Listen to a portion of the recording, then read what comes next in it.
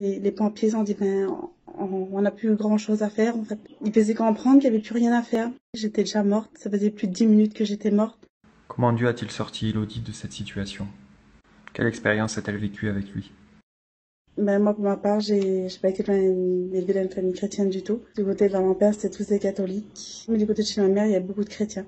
Et à la langue, ben, à force de rester avec la famille de ma mère, moi, les choses de Dieu m'ont plu. Tout jeune, j'étais tout jeune, j'aimais le Seigneur, j'aimais euh, j'aimais vraiment ce que ce que il dégageait, ce que les chrétiens dégageaient, puis j'aimais bien tout ça. Et puis je me disais toujours, ben j'espère qu'un jour je serai chrétienne. Avec mon père, c'était pas facile parce que mon père, lui, il aimait pas du tout les chrétiens. on pouvait pas se tenir à côté des chrétiens. C'était compliqué. Mais on a laissé faire, j'ai laissé faire les choses de Dieu comme ça. Et puis ben voilà, un jour, eh ben chez nous, il y a eu il y a eu des réunions qui sont faites. Mon oncle a ouvert une salle. Et ben tout doucement, je j'allais, j'allais en cachette de mon père parce que mon père il voulait pas. Et puis ben j'allais en cachette de lui. Puis à chaque fois j'allais ben à la réunion, ben ça me plaisait. J'étais de, plus en plus touchée par la parole de Dieu. J'aimais le Seigneur. Je sentais que ma vie changeait peu par peu. Et puis ben de là, ben j'ai suivi le Seigneur en cachette. Et jusqu'au jour, ben qu'il a fallu que, que je m'engage avec le Seigneur. C'était compliqué parce que j'avais toujours peur de mon père, mais euh, ben, il a fallu que je m'engage. J'ai passé par un problème. J'ai eu, euh, j'ai eu ma petite ben, qu'elle a failli, euh, qu'elle a failli mourir en fait, et puis le Seigneur l'a guérie. Et à travers la guérison de, à travers la guérison de ma petite, et ben là je me suis avancée avec le Seigneur. J'ai passé par les eaux du baptême. Et puis j'ai suivi le Seigneur comme ça pendant pendant trois ans. J'étais fidèle, j'aimais Dieu, c'était comme ça. Après il y a eu des soucis, un peu les soucis de ma vie que voilà. Après avec le découragement, euh, ça allait pas trop dans ma vie. Avec le découragement, tout ça, ben je me suis éloignée du Seigneur sans m'en rendre compte. Je me suis éloignée. Il y a eu voilà nuit, il a installé des choses dans mon cœur sans m'en rendre compte et qu'après ben ça a été plus important et puis j'arrivais plus revenir au Seigneur. Et puis j'étais rétrograde. Voilà sans, m'en apercevoir, ben, je suis devenue rétrograde parce que j'ai ressenti plus la présence de Dieu dans mon cœur, plus rien. Pourtant, j'allais aux réunions parce que ma mère, euh, elle allait, puis je voulais pas que ma mère soit découragée à travers moi, comme j'étais la seule chrétienne chez moi et que j'ai mis vraiment du temps pour que ma famille, j'en ai fait pour que ma famille vienne à Dieu, ma mère était venue à Dieu, et je voulais pas tout détruire euh, pour ça, alors euh, je faisais paraître ce que ce que j'étais pas en fait. Et puis ben là, ça a passé comme ça jusqu'au jour qu'en fait ben j'ai failli vraiment perdre la vie. Perdre la vie en fait j'avais perdu la vie puis le Seigneur me l'a redonné.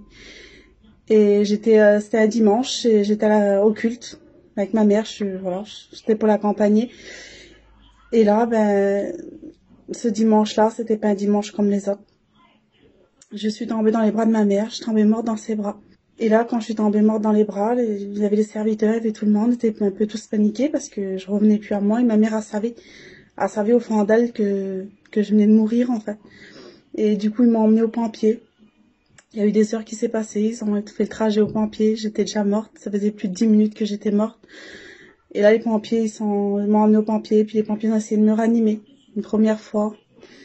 Ils n'arrivaient pas, une deuxième fois, ils ont essayé, puis là, les, les pompiers ont dit, ben, on n'a plus grand chose à faire, en fait. Il dit, ils faisaient comprendre qu'il n'y avait plus rien à faire. Ils avaient pris le drap pour, me couvrir et voilà, pour faire euh, ce qu'ils avaient à faire. Et là, il y avait mon petit cousin que le Seigneur a placé ce jour-là. Mon petit cousin a supplié le pompier. Il a dit, monsieur, je vous en supplie, continuez. Il dit, ma cousine ne peut pas mourir, elle est trop jeune, je vous en supplie, continuez. Et puis là, je sais pas, le pompier, ce qui s'est passé, il, il a recontinué une troisième fois. Et quand il a recontinué la troisième fois, ben c'est là que ben, le Seigneur a, fait le miracle, il m'a redonné la vie. Le cœur est reparti à battre au bout de 30 minutes, une demi-heure. Là, ils m'ont emmené euh, ben, à l'hôpital. Et là, j'étais en, réanimation. J'étais dans le coma, bien sûr. Et puis, bon, les docteurs, pour eux, j'avais pour eux, j'avais peut-être 24 heures à vivre, on va dire, parce que mon cerveau n'a pas été oxygéné pendant pendant 30 minutes. Et pour eux, c'était c'était important. Et là, ben, bien sûr, il y avait ma mère, il y avait tout le monde, il y avait, enfin, il y avait toute ma famille, il y avait tout plein de chrétiens. Ce qui est bien, c'est que je vous dis, franc, Seigneur, la prière des frères et sœurs, comme on dit, ça fait mouvoir le bras de Dieu, ben ça, oui, je vais y croire. Toute la France entière priait pour moi. Et puis là, ben Seigneur, euh, voilà, les docteurs, ils, pour eux, il n'y avait pas grand espoir. Ils disaient, même si elle revient à la vie, dit, attendez-vous que que votre fille, vous la reverrez avec beaucoup de séquelles. Ce sera plus la même qu'avant. Il dit, son cerveau n'a pas été oxygéné pendant 30 minutes. Il y aura quand même pas mal de dégâts. Et puis là, ben ça c'était le docteur qui disait. C'était pas le Seigneur, parce que le Seigneur avait pas dit ça en dernier mot. Au moment qu'il m'avait redonné la vie, qu'il m'avait ressuscité, ben, à ce moment-là, le Seigneur avait fait tout à merveille. Et là, je suis restée deux jours dans le coma. Et au bout de deux jours, ben, je me suis réveillée. Mais j'ai eu un réveil, je peux vous dire, Seigneur, qui était... Euh, je me suis, quand je me suis réveillée, moi, je me demandais ce qui venait de m'arriver, en fait je me disais mais c'est quoi? Je voyais tout le monde autour de moi, j'étais à l'hôpital, je dis mais pourquoi je suis à l'hôpital? Et là tout le monde m'expliquait ce qui venait de m'arriver. Et puis j'étais un peu, j'étais sonnée, je me, je me demandais ce qui venait de m'arriver, j'arrivais pas à réaliser au début. Et après bien sûr j'ai réalisé peu par peu, je disais Seigneur c'est pas possible qu'il m'arrivait ça. Et que en fait que je suis encore là. Parce qu'en fait j'étais rétrograde à ce moment-là, ce qui m'avait arrivé là, j'étais loin de Dieu, mais par son amour, ben donner la vie. Voyez à quel point, comment que le Seigneur, il aime, qu'il aime le pécheur, qu'il aime son enfant, qu'il aime. Nous, on peut pas, on, dit, mettant euh, l'amour de Dieu, mais elle est insondable. On peut pas dire, Seigneur, elle a pas de limite. Parce que je vous dis franc, à ce moment-là, j'étais même pas digne. Je pouvais pas être digne de, d'avoir ce que le Seigneur m'avait donné. Mais lui, non. Lui, il a pas regardé à ce que j'étais, en fait. Et je vous dis franc, ça me, je vous dis la vérité, j'étais, touchée au fond de mon cœur parce que je me disais, Seigneur, c'était un miracle qui venait de se passer. Parce que j'ai eu aucune séquelle, je, peux vous dire, j'ai eu aucune séquelle. Les docteurs, ils se demandaient ce qui venait de m'arriver. Euh, j'ai eu des tonnes d'examens. On m'a fait des tonnes d'examens. Pour les docteurs, j'avais fait une mort subite. Ils ont dit, c'est, c'est une mort subite que vous avez fait, madame. Parce que j'ai fait une grosse, une arrêt cardiaque foudroyante.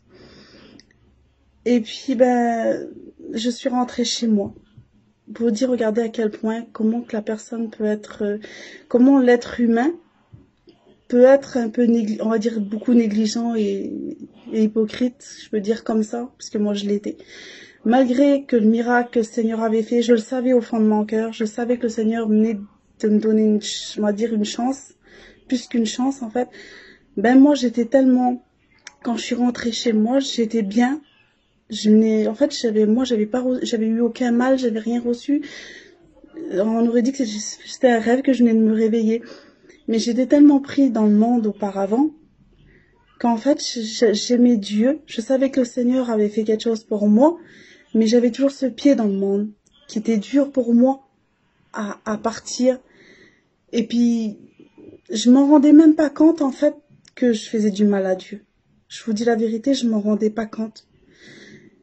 Et puis moi, je, je voilà, je témoignais de Dieu, tout ça, mais en fait, j'avais toujours ce, toujours cette part du monde qui était toujours en moi, en fait. Et là, Seigneur, vous savez, le Seigneur, on est un Dieu jaloux. Lui, il aime pas ça. Et le Seigneur m'a laissé faire. Ça a duré quatre mois. Le Seigneur aurait pu tout faire parce que quand il m'a redonné la vie, s'il aurait voulu, il m'aurait guéri instantanément. Parce que la première fois, ils n'ont pas vu le problème que j'avais. Voyez? Mais le Seigneur laisse faire des fois les choses. Et la deuxième fois, j'ai refait un arrêt cardiaque. Mais j'étais chez moi. Et la première fois, on m'avait mis un appareil. C'est un défibrillateur implanté. Et le Seigneur a permis que je l'ai mis, en fait, cet appareil. Je le voulais pas, mais je l'ai mis quand même. Et puis là, je vous dis franc, j'ai fait un arrêt cardiaque foudroyant. Il était pire que le premier. Mais bon, avec l'appareil, je suis revenue à la vie. Mais là, par contre, j'ai assisté à tout. J'ai assisté à ma mort. J'ai vu, je me suis vue morte. Je me suis vue vraiment partir très loin. En fait, je me voyais vraiment dans une situation, je peux vous dire, très mal. Et là, par contre, j'ai fait un tour sur moi-même. Et là, j'ai pris une peur que jamais de ma vie j'aurais pris une peur comme ça. Et là, j'ai commencé à avoir peur. Je me dis là, Seigneur, oui. Là, c'est très grave parce que là, je peux vraiment partir loin de Dieu. Je peux vraiment partir très loin de Dieu. Et là, je me suis mis, on m'a emmené dans, bien sûr, on m'a transporté à l'hôpital, j'étais en soins intensifs, j'étais dans une chambre tout seul. Et là, j'ai fait un tour sur moi-même. Et là, j'ai vu que le Seigneur, il montrait, il montrait, Seigneur, ma vie. Il montrait que, comment j'étais, en fait. Et je voyais le Seigneur triste et je voyais le Seigneur pleurer à travers moi parce qu'en fait, je rendrais, je rendais Seigneur triste de ce que je faisais, je me rendais pas compte. Et là, Seigneur, j'ai, j'ai compris j'ai vraiment compris, Seigneur, qu'il fallait pas que je reste dans cet état-là. Et là, j'ai demandé pardon à Dieu. Je me suis mis à genoux et j'ai demandé pardon à Dieu. Et je vous dis franc, Seigneur, j'ai demandé un pardon qui était immense. Et là, on m'a commencé à me faire des examens. Et cette fois-ci, on m'a trouvé ce que j'avais. J'avais un problème au niveau du cœur que la première fois, elle l'avait pas vu. Et là, ils ont trouvé ce que j'avais. Et mais il fallait une opération. Il fallait qu'on m'opère. Mais l'opération était compliquée. C'était très compliqué parce qu'il fallait que je sois réveillée pour cette opération-là. Et je disais, ben, si Seigneur, si je dois me faire opérer, je me ferai opérer. Et puis le soir, j'étais, j'étais dans ma chambre et je priais le Seigneur et puis euh, j'avais peur, en fait, je vous dis franc, j'avais peur. Et puis là, je priais le Seigneur et je demandais, Seigneur, dis à moi de me faire opérer, que je parte l'opération, si je voudrais entendre quelque chose de ta part, je voudrais savoir si vraiment tu es avec moi, si vraiment, Seigneur, tu es là à mes côtés, malgré tout ce que, que j'avais fait. Et j'ai demandé ça au Seigneur. Et le lendemain, et le lendemain, bien sûr, ben, c'est là que j'ai rencontré euh, Samuel. Je ne le connaissais pas, moi. Je ne connaissais pas du tout. Et ma tante, en fait, c'était ma tante qui le connaissait auparavant. Et, là, il s'est passé, le Seigneur a voulu que c'était comme ça. Il a, téléphoné à ma tante comme ça, par hasard. Il devait pas lui téléphoner, mais en fait, ça s'est venu comme ça.